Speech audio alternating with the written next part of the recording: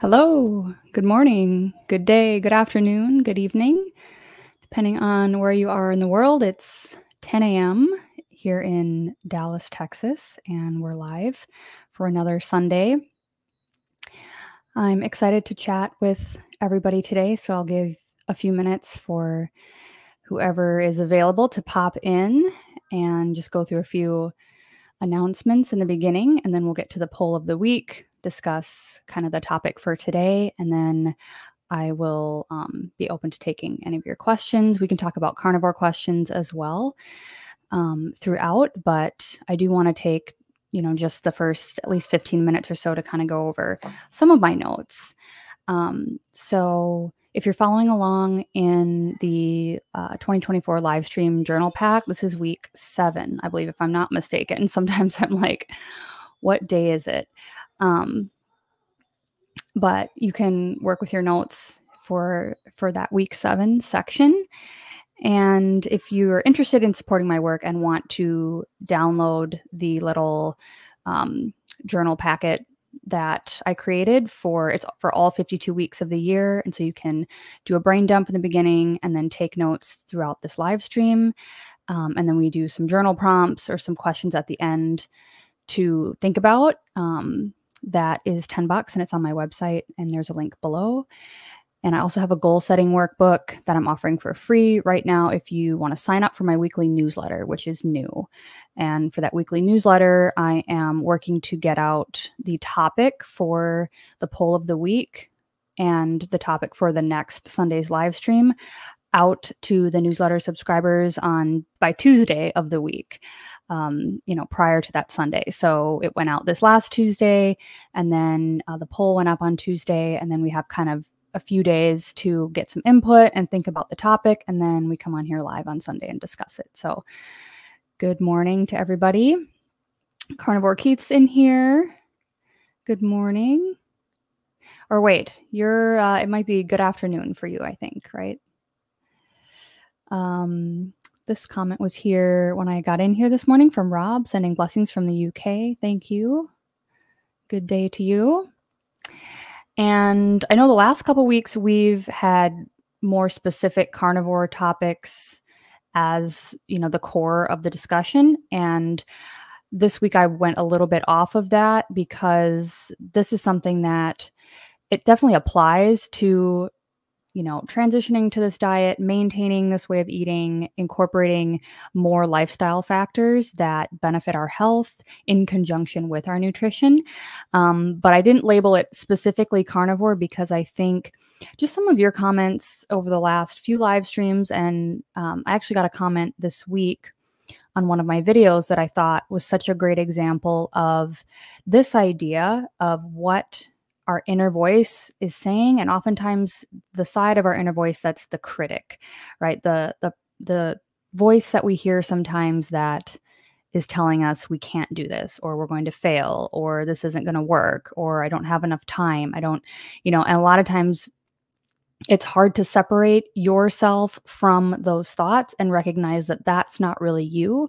That's not really necessarily what you believe. It's just part of the programming. It's just part of what you may have been conditioned to believe, whether that's from outside influences.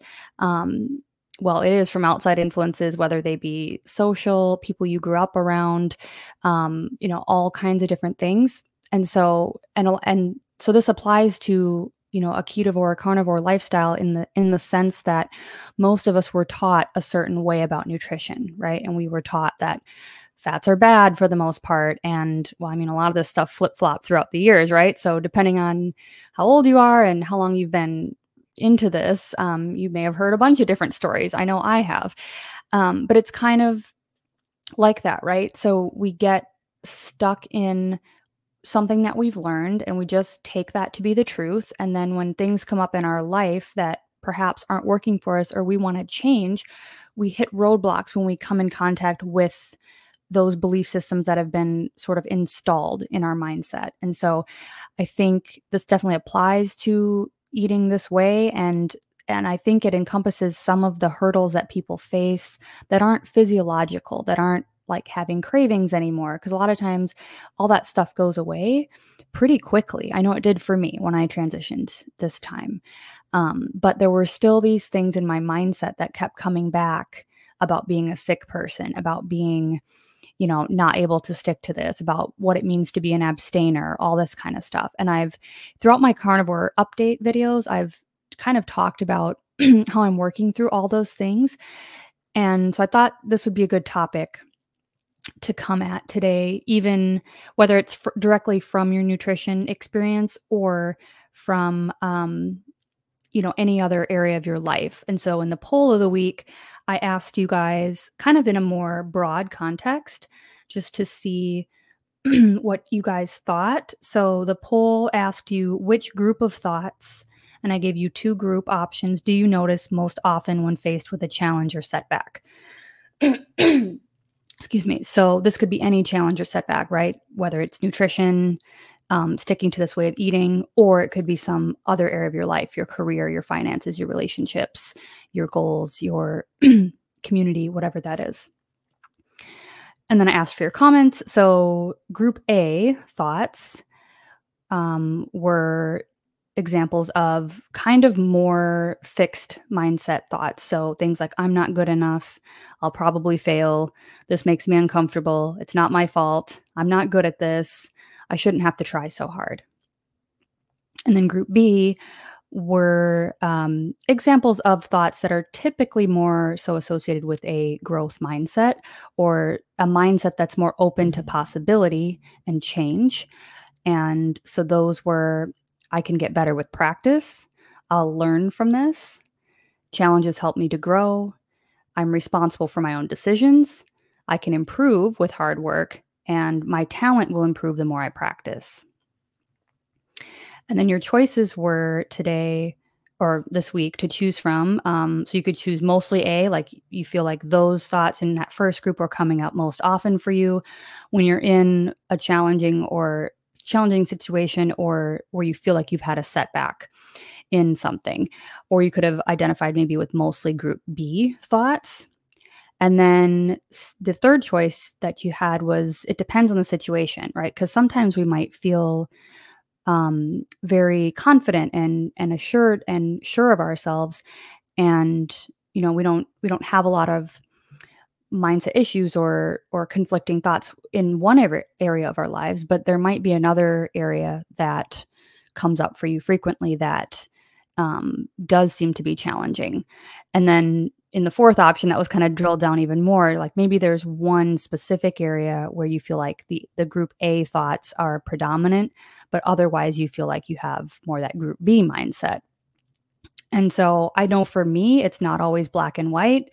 And I will tell you, this is kind of funny. I don't know if this is just how it is or if this is like meant to be, but um, whenever I choose a topic for this live stream, usually something will happen that week that will kind of test me or bring an example from my own life up into, you know, so that I can kind of look at it in my own personal life too. And I found like that I felt like that happened this week where I noticed, you know, in some areas of my life, I'm really more in that growth mindset section, that that group B thoughts. But then there's a couple areas that I just sometimes still struggle with thinking negatively or thinking very fixed or thinking very um, closed like my brain will have closed minded thoughts that don't open the door for me to think through something very much. It like assumes something or it makes a it draws a conclusion right away. And so i think it's really interesting. So we got 155 votes this week and the majority of you 48% said you identified mostly group b. So the thoughts that are typically associated with a more uh, growth oriented mindset which is very cool and then uh, this was followed up by 28% saying it depends on the situation. So the third option, which is kind of where I sit if I'm being perfectly honest. Um, I'd say most often I'm I'm kind of in that group B category, but sometimes it depends on my mood or sometimes it depends on how much is going on in my life. If I'm really stressed out in a couple different areas, I can tell it's like, oh, it goes back to that group A um, base of thoughts. Um, and then the third um, the third ranking one was 21% with mostly A. So saying that, yeah, you feel like those group A thoughts are predominant. And then 4% said A in one main area of my life, but otherwise B. So I found that pretty interesting. And a few of you commented on the poll here about the difference between when you um, ate a different diet. Um, Carnivore Keith, you are one of those. Um, so I'll read yours. Um, you said when I was eating high sugars, yes, high sugars, carbs, and highly processed foods, A would have been my answer straight away. When I was keto, things did improve mentally and physically, but as I got along in the keto journey, I noticed old habits and thoughts started coming back because I hadn't really given up the sweet or carb foods, I was just substituting them.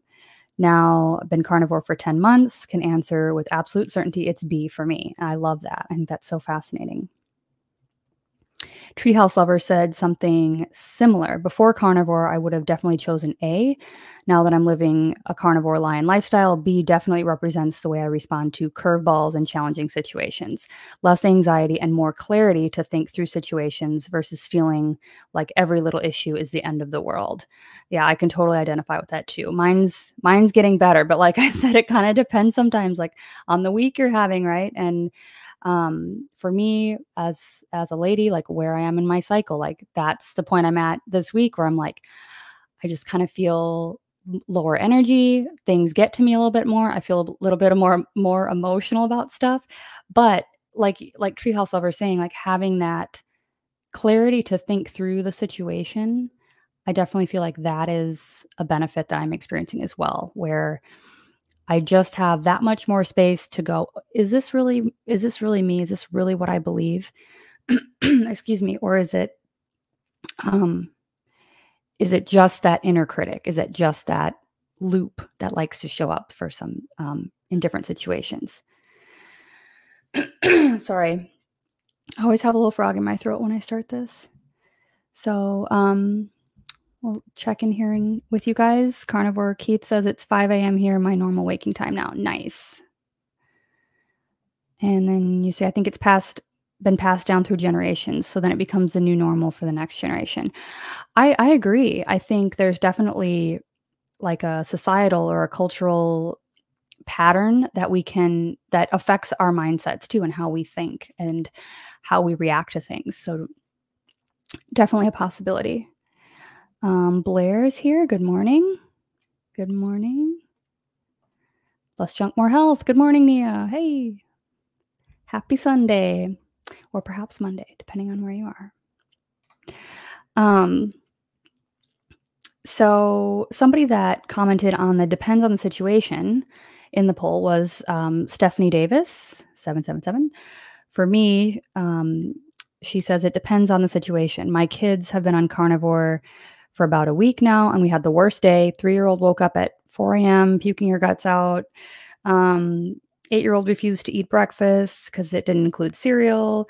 So, just kind of describing some of her struggles and feeling like she's failing to please her household. And I can totally understand that as like a, a, stressful challenging situation right when you're trying to encourage your family to eat differently or your kids especially when they're kind of young you know and they want what they want and they may be used to what they've been having um, and then you're trying to change that and it can be really really challenging right and you feel like um, you know, she says, I, I'm tired of failing to please my household. And so, like, that's to me an example of a thought that could come up, right? Oh, I'm failing. I'm a failure. And I don't know if if I am should be drawing that line for Stephanie, um, if that's really what she's thinking, like I am a failure. But I know for me and for other people, sometimes your mind can jump to that conclusion, right? So, oh, if I didn't get everybody happy that this first week of doing this, then I'm a failure. And I know sometimes it can be easy to think that way.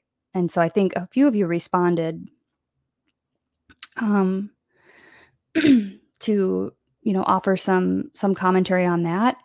And you know i think again from my experience and and as always nothing we're talking about on here is medical advice or health advice you know advice in a professional sense.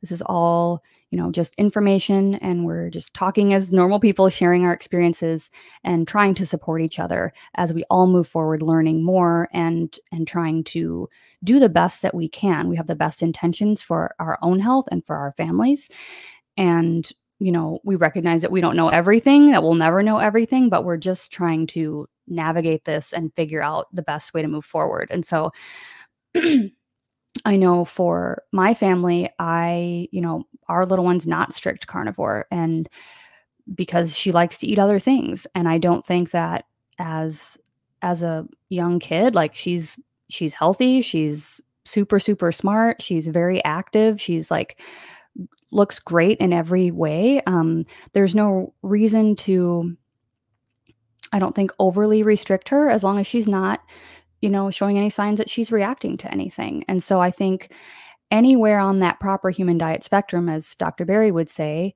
you know, can be perfectly appropriate for kids. And so, um, as as far as what I do with with my little ones, I'm trying not to force a specific way of eating on my child just because I understand that the consequences of that could come back to bite me, right? Because there's the whole idea of of being afraid of food and being very um, apprehensive to eat certain things out of fear versus out of just understanding how the body works, understanding nutrition, understanding what we're designed to eat and what makes you feel good versus not feel good.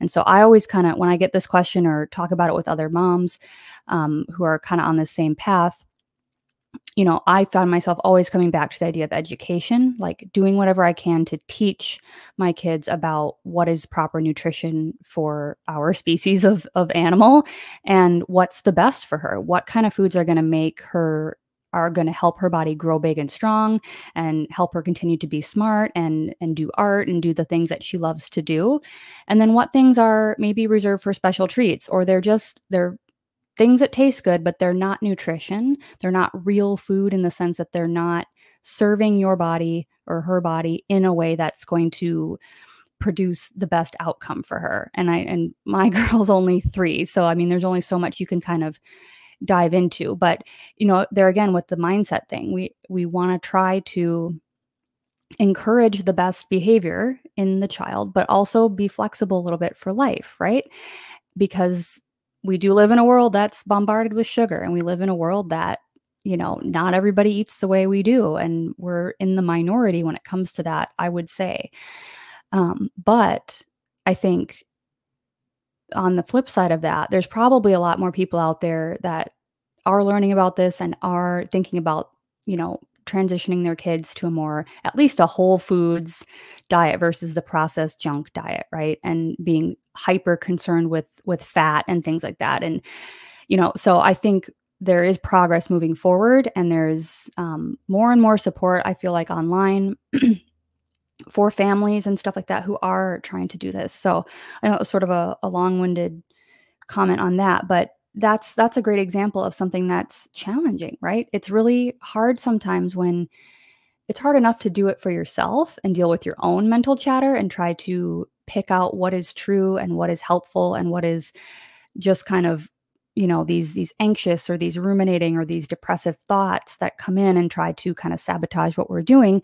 And then it's that much more of a challenge sometimes to guide other people like that we love and care about right? Like our family members. And so i can definitely i can definitely understand that. And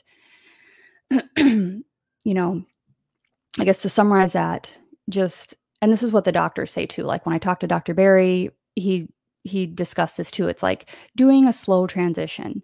You know even if it takes you six months to cut out the pop tarts and the doritos and the soda pop or whatever if that's part of someone's current diet doing it slower is going to just make everyone's life easier.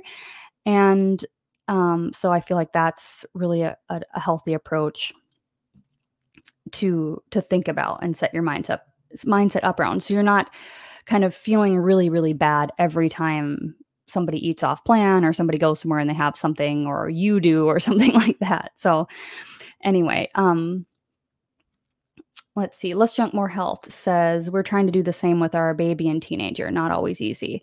Right. And and that's where again, I always come back to education and as and and for us as parents as we continue to learn more and model that good behavior model being healthy and how we approach our diet and you know maybe having a little bit of moderation here or there or having something like whatever works for you and then just educating our kids as we go along um, at least that's the approach i'm trying to take because yeah it's hard to just like cut all this stuff off right away and be like no more of this and now you're eating plain ground beef or something i just made yesterday um, like really good ketovore. It's almost carnivore. If you took the sauce, the red sauce out, it would be carnivore um, lasagna.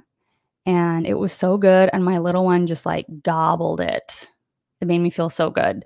And so there's always more stuff we can try to. I hadn't really been too much into um like any kind of when I was keto and stuff, like I never did the keto baking really or the keto treats. I did the fat bombs with erythritol and like those were oh those were a mess for my for my gut but um I never really got into that stuff. And so that doesn't necessarily cross my mind when I'm thinking carnivore or trying to do like ketovore meals for my kid.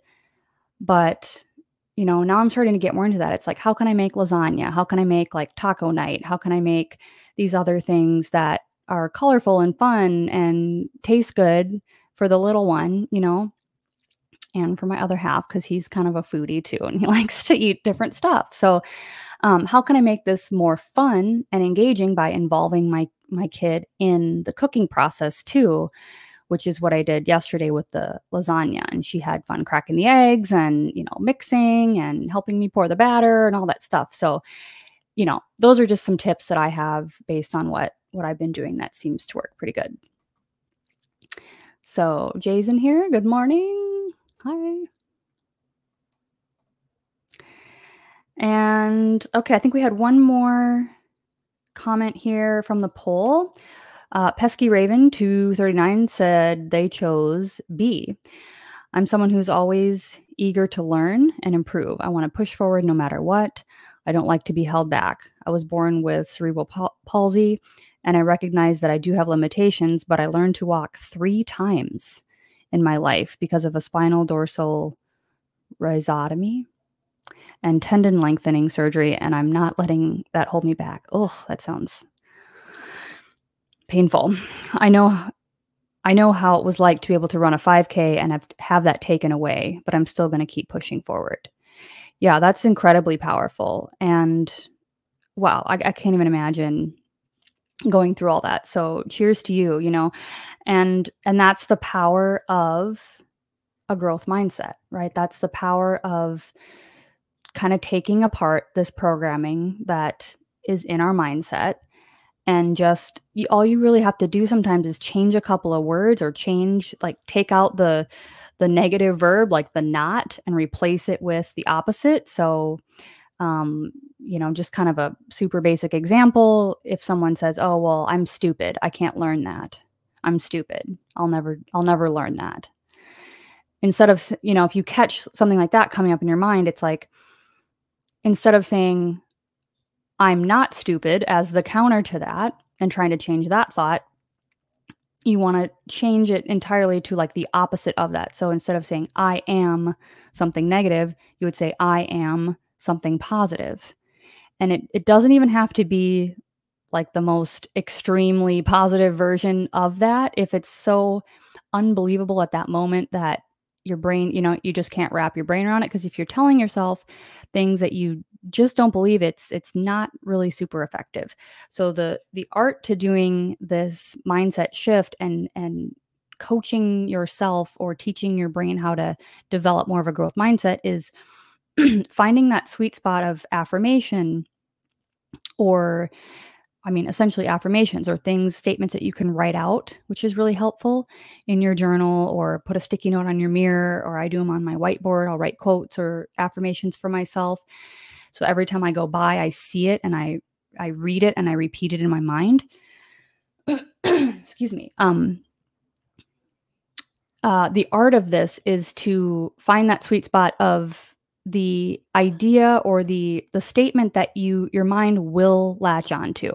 And so in the example of I feel stupid, I am stupid, you could say instead there are there are plenty of things that I'm very intelligent at or I'm very smart when it comes to X and think of something true. Like it could be a hobby, it could be a way that you communicate, it could be something you did in the past, it could be, you know, an interest, it could be um, part of your career, anything that you can find that is true. Like, yeah, I really am smart at this, or I'm intelligent at that, or I, I, um, I showed a, a, great degree of one of those characteristics at this moment in time in this situation.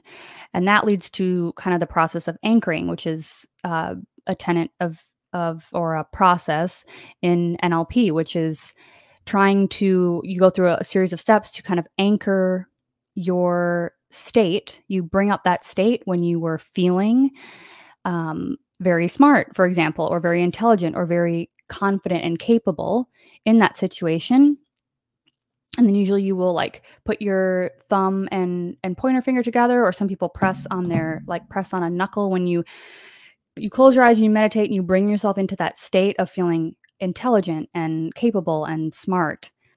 And then you anchor that with a physical um like actually touching a spot on your body that you wouldn't normally use. So something that's a little bit weird like touching your middle knuckle with your pointer finger and then whenever you catch yourself in that thought process of, oh, I'm just stupid. I, I can't learn this. I could never learn that. I'm just dumb. You can use that anchor point, like stop, take a few breaths, use that anchor point, And the more you practice doing this, is something I've been practicing now for probably two or three months for a specific state of being. Um, the more you can feel just your body shift or your state shift into something that's more open ended, right? So you could be in a situation where you honestly feel stupid. Like maybe you're trying something brand new and you've never done it before, and everyone else around you is really good. And you're kind of like, oh, I feel so stupid, right? But that's not what we want in in the mind right we don't want that because that's limiting that is fixed it's saying this is how i am and i can't change there's no possibility there's no anything outside of that. So if you can catch that, which is the hard part, right? The observance of it, the separation between who I am as the observer of my thoughts and then what thoughts are actually happening that aren't me, that aren't who I am necessarily. They're just the thought stream that's going by.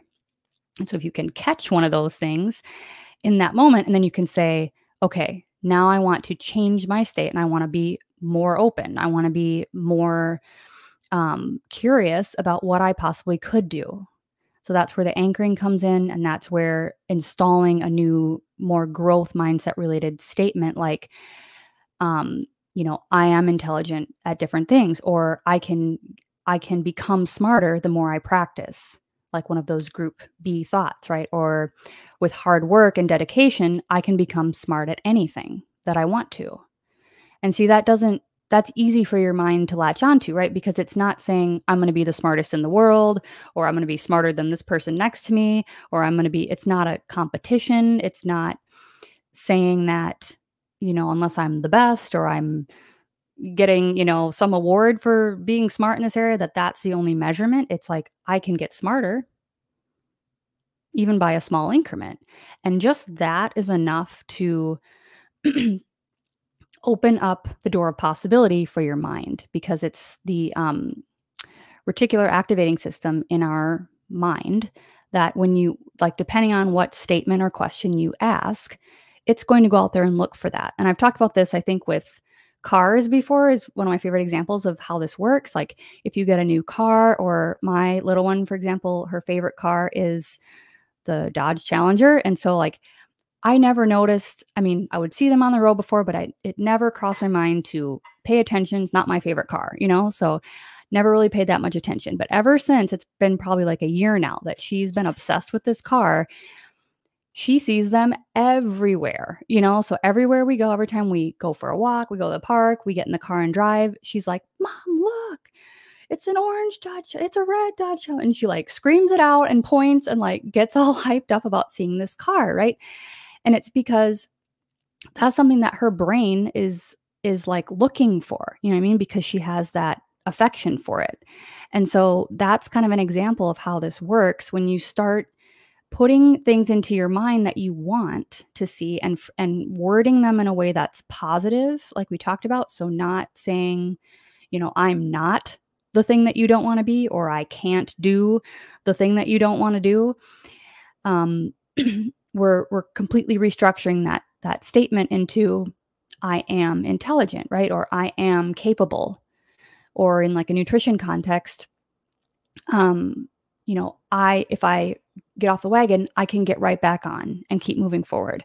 I always keep moving forward no matter what happens. Like those kind of statements are encouraging in the moment. And then what that does in your brain is it starts to open up that door of what, well, okay, well, what's possible? How would I get better then? What would I have to learn in order to become smarter at this? Who who's a mentor I might need to seek out? What book should I read? Maybe who should I follow online to learn more about this? How can I identify how I learn best and incorporate that into how I'm learning so that I can get smarter faster? Right? All those now those are all questions that start popping up in your mind, right? And then you can use those to affirm the statement that you made in the first place, right? Because in two weeks, three weeks, a month later, you can say, from that nutrition context, yeah, I fell off the wagon for whatever reason, but I got right back on and I continued moving forward. And then now, well, and then now you have evidence of that, right? Because you did do that. And again, it doesn't mean that you had to be pursuing perfection. It just means even if you did and did incrementally better than the last time you fell off the wagon, you've affirmed that statement that I can do better. I can get right back on and I can continue moving forward towards my goal.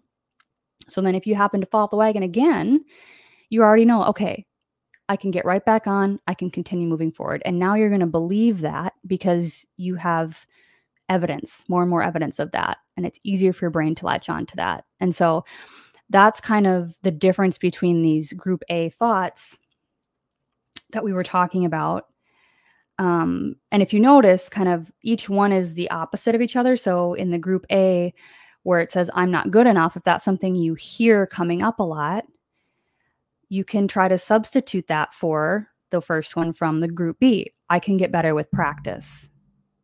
Because sometimes if we say, you know, I am good enough, even though that's true, because I believe that we all are, you know, born that way, but um, it it can be kind of hard sometimes for your mind to accept that. And so I find something like saying, you know, I can get better with practice, I can become better is is easier for your mind to latch onto and a little bit more helpful, at least from my experience. So the second one, I'll probably fail. If that seems to be like the default mode that you go into when you get presented with something challenging, you could try switching that to something like the second one in group B. I'll learn from this. So instead of see, seeing failure as I am a failure or this is failing or this isn't working, period, and I'm going to quit, you can say, okay, what happened here? You know, what can I learn from this situation? What do I wish I did better? Yes. But what can I learn and um, improve on for next time? And then your brain's going to go looking for the answer to that question, right? So oftentimes is what happens to me. You'll just stuff will just pop up. You know what I mean? Stuff will just ideas will just come to you. Your intuition will speak. Um, you know, the higher power. That's where I feel like that very strong connection there. It's like I will just get these downloads or these ideas or these these pulls from something that will be like, this is what you need to do next. This is what you need to try. And I'm just learning more and more to trust that if I'm going through this process, right, of pl- plucking out those thoughts and I'm like, "Oh, that's that's my inner critic, that's my inner warrior, that's my inner, you know, anxiety."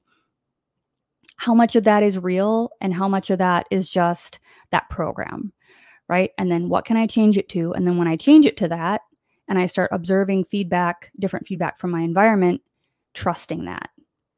So this makes me uncomfortable. Ah, I actually felt uncomfortable coming on here today. I'm kind of just feeling like, you know, blah, and it's cloudy and rainy for like the fourth day. And I'm like, I just kind of want to stay in bed today. But um I can replace that with challenges help me to grow, right? I know I know when I come on here, I feel great because I like interacting with you guys and I love talking about this stuff. And so even when you feel uncomfortable, the the the growth of moving through a challenge and progressively challenging yourself with more and more things is extremely rewarding and it helps you to grow into whatever it is you're pursuing. So again, from like a nutrition standpoint, um you know, maybe trying like kind of example I had, trying a new recipe this week. Not something I'm super comfortable with because I hadn't really done it before. And it involved making the noodles separately and then making sure I had all the other ingredients I don't normally buy. And so it was just like a little bit outside of my wheelhouse, right? But, and I was kind of tired and I just was like, ah, I don't really feel like going through all this work. But the end result was so cool. And my little one loved it. And I even ate some, you guys, because I had to try it. And it was fantastic. So, you know, now I feel much more comfortable and I can work that into my meal prep, make sure I have all those ingredients on hand. And um, getting through that little challenge helped me grow into a more hip ketovore cooking mom, right? Um, so there's kind of some examples of, you know, how you could take anything from that group A and then find its corresponding partner in the group B. And those are examples of how to start installing different thoughts. And this isn't super easy. You know, like I said, I've been, you know, since I started studying this stuff and it's been years, you know, and there's still times in my life where kind of like that third choice, it's like it depends on the situation, right? Or it depends on kind of what's going on where you'll notice that. But I think the most empowering thing that we can do is learn how to observe that stuff. And that's where prayer and meditation and spirituality and introspection and even in physical fitness like or mind body exercise like yoga or i've been doing pilates lately and i love it. Or um, one of you brought up qigong last week and so any of that stuff that helps you just really connect what's going on in here to your movement through breathing or um, more of a like a mindfulness practice or a spiritual or meditative practice where you're trying to just observe that thought stream going by and kind of disconnect from it. That's the like the tangible tactical thing that starts to facilitate this more. And it's a daily thing right? I don't i don't believe that i'll probably ever get to monk status in my life. I mean maybe that's just a limiting belief but you know when you look at people who have trained like their whole lives in meditation, they're able to achieve some pretty incredible things. So we can all practice that to some degree. My dust door is here. Sorry I'm late. It's okay. And I mean to I always mean to greet anyone from the future who's watching the replay too, but I forget to do that in the beginning. So if you're in the replay here from the future, welcome. Um, Carnivore Keith says, I got a comment from one of my family members who hadn't seen me in eight months. She asked if I had been sick since I had lost so much weight. It triggered me. Why would her first thought be that? Well, that's a good question.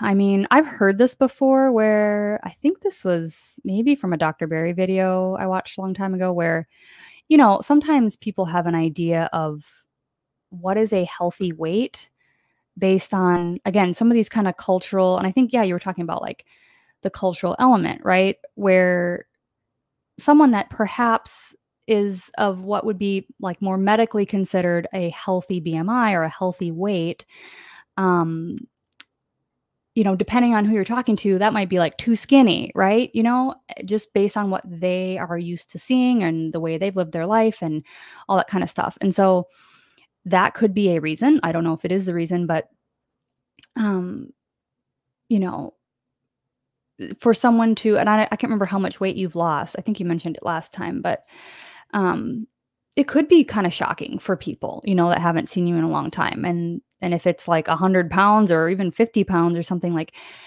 it might trigger some people to think like, oh, are you okay? You know, it's it's not super normal to lose a, a lot of a significant amount of weight in that short of a period. So, you know, I'm I'm assuming that your your family member loves and cares about you, and that's probably why um, she said that. But you know, again, sometimes it's it's contextual within what that person thinks is healthy or what they're used to for themselves or where they live or, or whatever that is. And so, um, but that's hard when you're like, no, I feel great, right? And you're saying it's carnivore, it's the healthiest and happiest I've been in a very long time. And you want, you know, we want people to be excited about that too, right? Because we're excited about it. It's like, wow, I feel so much better. I finally lost this weight, or I'm finally, like in my case, clearing up some of my inflammation. It's so life changing to not have to feel bogged down like that every day. Um, you just want to tell people, right? And for them to be happy for you. And so sometimes it's hard when we're discussing this with people that, you know, haven't heard of it or aren't on board for like the more primal ancestral approach to health. Um, that's why we have these groups, right? And these YouTube channels and stuff that we can connect with each other because that's very important. And that's as a side note, that's something that um you know, if I'm being honest, I shied away from community for a long time in this space. And I've, I've mentioned in the past that I had a channel in the past about my first round of carnivore. And I got really like, I just, people started flooding me with comments and um, you know just questions i didn't know the answer to i was like look i'm just trying to figure out why everything makes me sick and why i'm sensitive to everything and why i have these gut issues and i've been on this like 10 year journey you know trying all this different stuff and i just like i got really overwhelmed and it's you know it's different when it's online because you can't see the person and you can't really tell what they mean by what they say. It could be interpreted with you know a negative kind of intent or a positive intent depending on how you read it. So it's a little different online but you know i got a lot of like pushback and these really like microbiology questions like well how do you know your microbiome isn't going to give you cancer and all this stuff? I'm like i don't know. All i know is i feel way better than i did before. Like is that good enough for anyone? So i can identify with that and it's hard like but that experience kind of pushed me away from talking about this and why I think I mentioned when we we hit 10,000 subscribers I did put up a video and it's like you know I have this mixed relationship with the internet and social media and sometimes even being a content creator because you know it's hard it's hard to talk about some of the stuff that's a little more personal right? Your personal health concerns and stuff and then hear people's feedback um and so I was afraid of that for a long time and partly was because of that first experience on YouTube and and then I have like we're talking about limiting beliefs I have always since I didn't go to college and really like earn a degree even though I was considered a smart person in high school I had really good grades and I've always loved to study I've always loved to learn I've been a learner my entire life but I just never went to a formal college and, and earned a degree in anything because I didn't know what I wanted to do. And I didn't want to like risk all that money and then end up like not liking it or changing my mind or something like that. And so that has always been in my head like, well, Neah, you don't know enough. You're not qualified enough. Who would listen to you? That's that kind of group A set of thoughts, right? Where I was always afraid to talk about my just my experiences and share those because I thought, well, you know, I'm not qualified to do so. I'm not, you know, a health expert. I'm not a medical doctor. I'm not a biochemist, you know, and I should have in the past, you know, gone and done these things. But what I've realized, you know, and why I feel so grateful for the community that I have now and being able to do live streams like this with you guys and interact is that, you know, that is community is such a huge part of healing and and having support is so incredibly powerful and that's something that I really avoided for a long time because I thought I can do it on my own. I don't need anybody's help. You know, I can figure this out by myself. And and there's there's good reasons for trying to do that, right? I'm a firm believer in taking responsibility for your health and learning as much as you can and trying to give advice or, you know, put out the truth, not just kind of spouting off whatever we think about is right, you know, like trying to back it up with some kind of credible evidence, you know. But at the same time, we're all learning through this and the science is not settled. I don't care what anybody tells you, you know. And so, this part of the way that we evolve and change and get healthier as a society, you know, no matter where you live on the planet, most of us are unhealthy now, you know.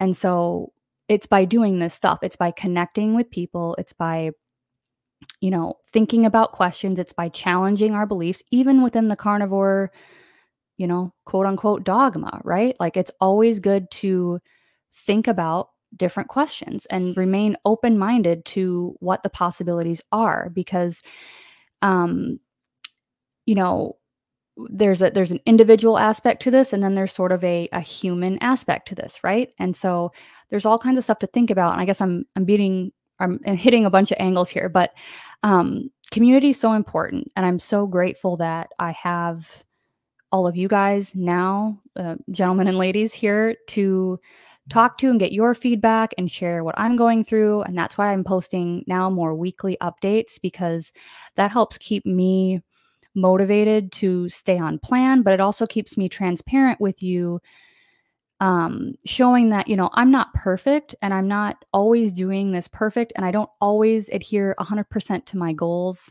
perfectly. But that's life. You know what I mean? And I think one of the most important aspects of doing this too and and changing any mindset thoughts too it's like you're not going to do one affirmation one day and then your mindset's changed for the rest of your life right like you're going to have days where you slip off the eating plan. You're going to have days where those negative thoughts come back in. You're going to have days where that one situation that always triggers you just gets to you, you know, and that's where coming back to a community of supportive, like minded people is so important. And that's what I was missing. That's really the biggest element that I was missing in my journey for so long because I hid this from so many people, even the very closest people in my life, because I was embarrassed. And I you know, I felt ashamed, you know, of how, you know, I was behaving in some in some ways and um, how I would give in to temptation and how I would just not be taking good care of myself, but yet trying to be on this health journey. And so it was like very complicated, right? But excuse me. Um, so there's a lot there, but I never had a community of people that really understood what I was what I was going through. And so Sorry, I just have this frog. It's my co-host. um yeah, so community and that's so that's what's different now. And I find that super encouraging and I'm grateful for all your helpful comments and participation and stuff like this because that's that's what's going to keep us all on the wagon in the long term together, right? And and like I, I was just having this discussion with somebody else this week about, you know, we know what we know right now, just like our parents knew what they knew at the time when they were raising us and their parents did the same. It's like if you if you have the best intentions for your own health and for your kids, then then it's part of what I think naturally happens is just to continue learning. And if you learn new information, then you adapt and you change and you, you know, tweak whatever you're doing to fit the new information, right? And so we don't have to stick to a dogma of like 100% strict carnivore for everyone in the house, no matter what birthdays, birthday parties, whatever, nothing. You know, like maybe for some people that's necessary because of their health concerns or because of the way their situation is. But, you know, like in my situation, for me, I need to be strict carnivore because I, if I try to add anything plant back in, it's like inflammation zone. You know what I mean?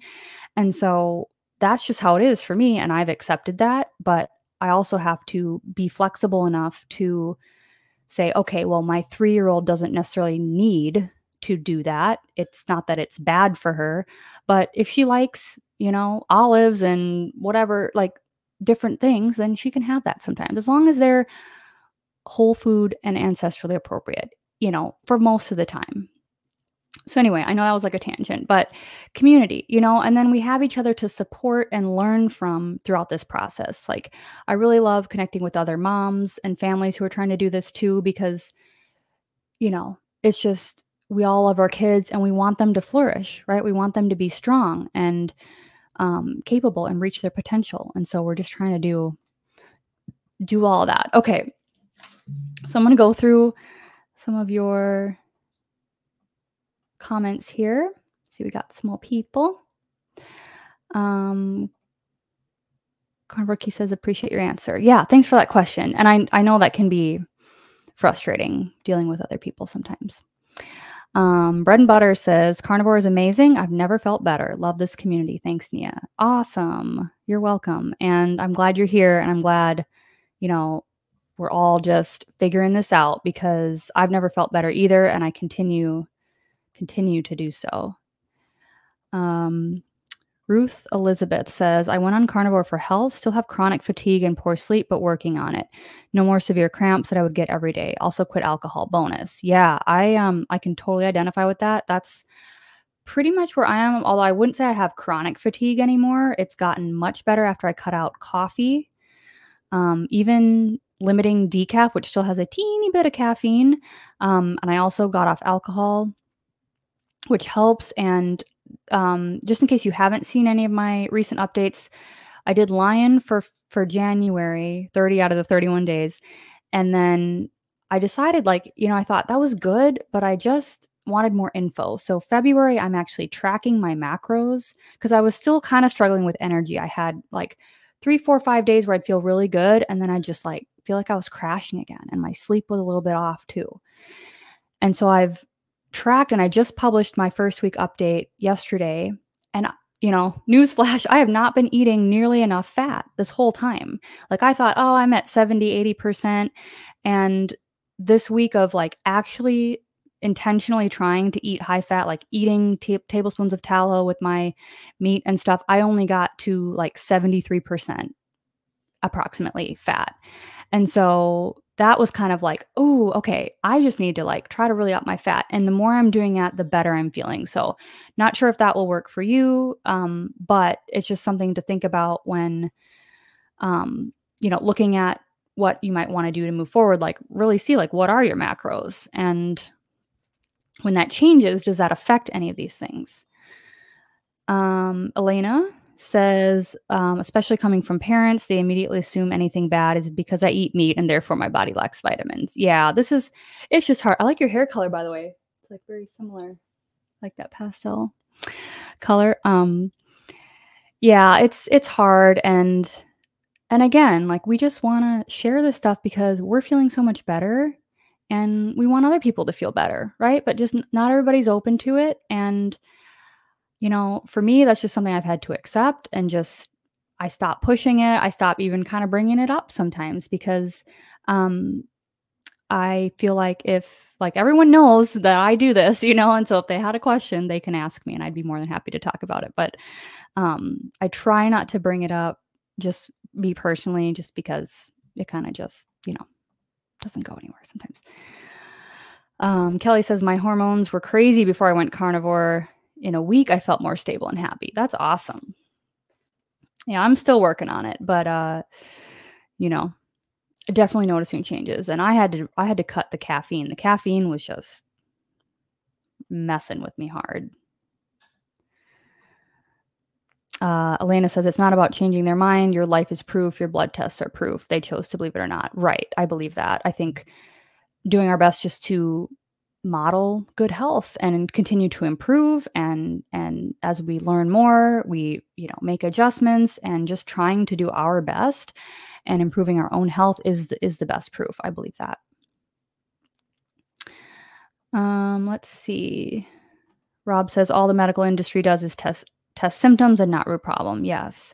That's highly frustrating too when you're trying to find a practitioner or somebody to work with that um, you can actually be on a team with, you know. And I actually saw right before I came on here, Dr. Berry published a video about um, finding a carnivore, ketovore friendly doctor, and there's a bunch of links in there. I usually check from time to time, but I haven't really found anything in my area. However, I'm sure every day there's more and more.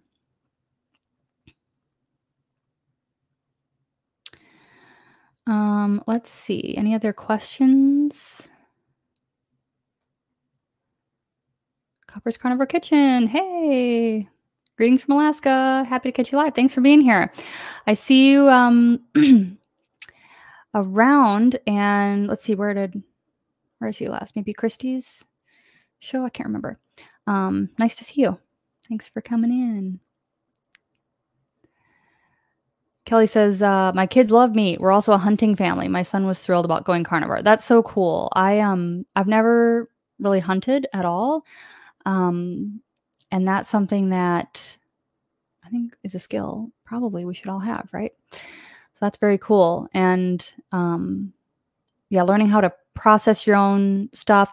We uh, a place I used to live there was um, a friend of mine who was like starting a farm kind of and and he started learning how to process like the the um, beef from his um, like live his own livestock essentially is what i'm trying to say.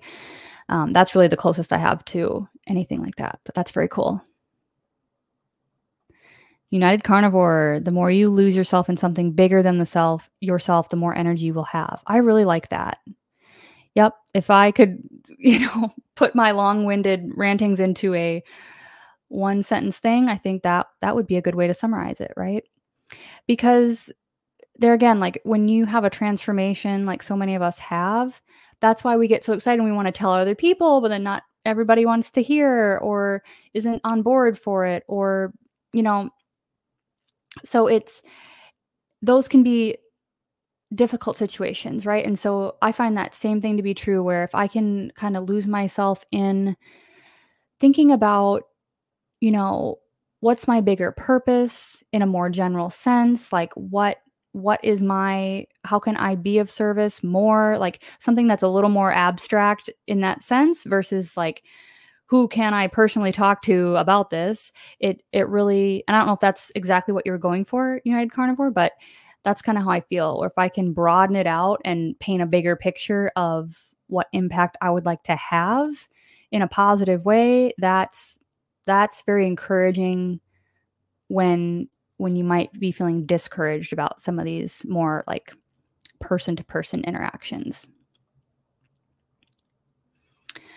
Um, let's see, we got about four minutes before we're on the hour. And I, you know, I kind of went off the journal prompt thing today. I had a couple worksheets that um, I was going to walk through a little bit, which to be honest, we kind of talked about most of this stuff in the mindset part. But um, I will leave you with a couple prompts to at the end here, but I'm just going to see if Rob says coffee can deplete our nutrients in our bodies. Yeah, I believe that. And I didn't really know that for a long time until I started reading up, you know, this second time I got on carnivore more about coffee. And it's like, yeah, definitely true. So it could be why my electrolytes were off or, you know, not absorbing what I'm eating as much because I was drinking a lot of coffee. Oh, Ruth says, um, yes, going to try to get more fat. I will track also the coffee. I will cut down and then try without. Yeah, it's that was hard to give up, but I just slowly started.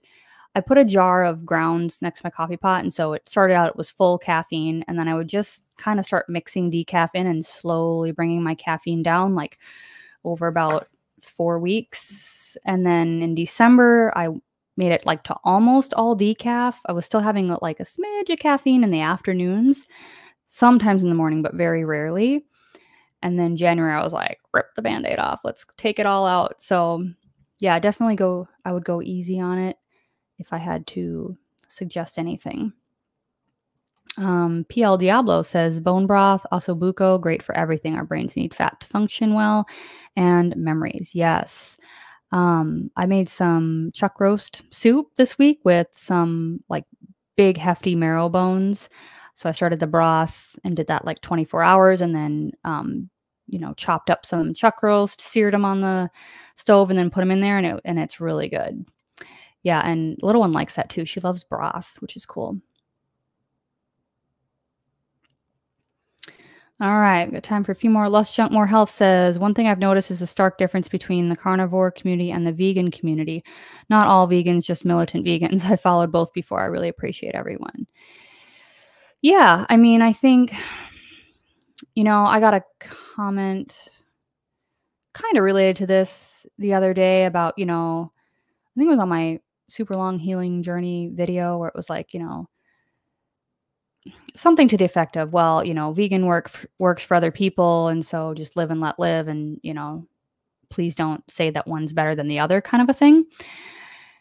And I thought, you know, in this context, I'm like, I just I think all of us in this space, right? We probably all think, okay, this is the better way to eat, right? An ancestrally appropriate eating pattern, macro types of foods that we're eating is better, right, for our species. However, um, you know, I think it's fair that we don't um, demonize the other side, right? Like, and I always keep bringing up Dr. Berry today, but I like the way he puts it because it's like, you know, a lot of times people go on plant based or vegan diets for a lot of the same health reasons that we end up carnivore, right? That's why I went plant based and tried vegan a long time ago, is because I thought it's healthy, right? And it's going to fix my gut and do all this stuff. Unfortunately, I got way sicker and felt way worse, you know?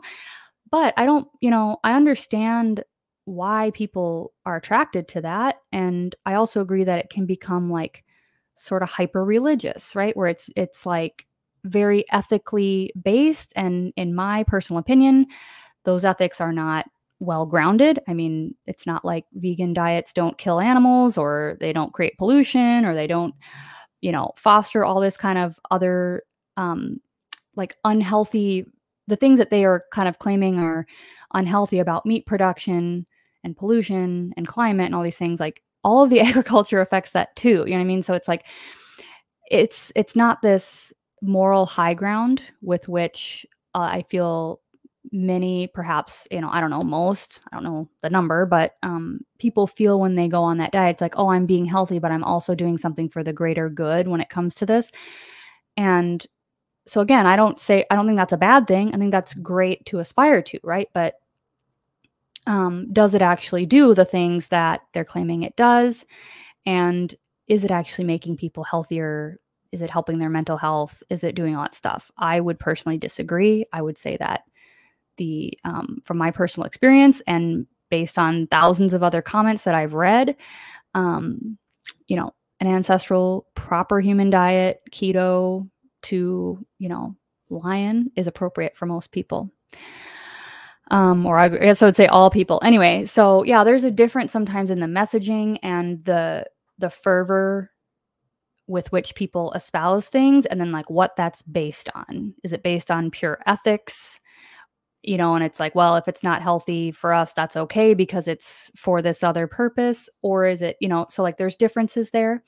Um, and I noticed that too. And I appreciate everybody in this community as well. Cause I feel like, you know, for the most part, people here are pretty open minded. You know, we've either been there, done that on the opposite spectrum, or we see like the things that I just pointed out where it's like we're all trying to figure out how to get healthy, right? We're all trying to figure out what the best way is to do. And as long as we keep approaching this with an open mind, we can get there. So, um, yeah, thanks for that comment. Okay, I have to go. Let's see. Thanks everybody for being here. Sorry I didn't get to everybody's comment. I see some funny ones here. Yeah, and it's political too. Unfortunately, freaking everything's political now, and I I try to stay as far away from that as I can because it's just it's just another div- divisive tactic, right? You know, it's just another way to divide people and force us to choose one thing or the other when, you know,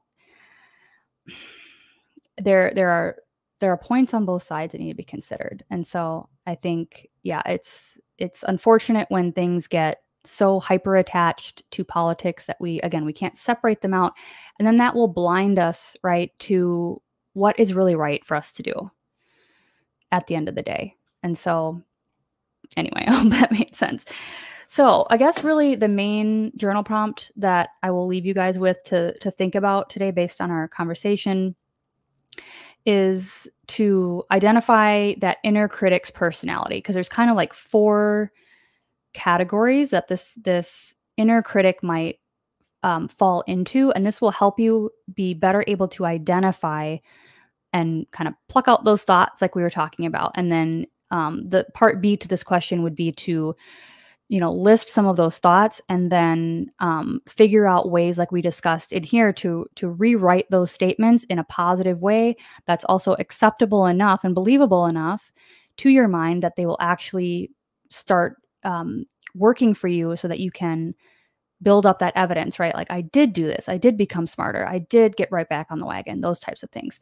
So, the four categories or kind of personalities of your inner critic, inner critic could be number one, the worrier, worrier, W O R R I E R. Um, this critic points out everything that can or could go wrong, stirs up emotions of anxiety and fear by imagining disasters, expecting the worst, and overestimating the odds of something bad happening. So this tends to be like, what if this happens? What if that happens? Like worrying. Number two is the critic. So constantly judging and evaluating your behavior, pointing out all of your flaws. Jumps on any mistake you make and reminds you of how you may have failed in the past compares you to others and assumes that other people are going to judge you and tends to minimize your accomplishments.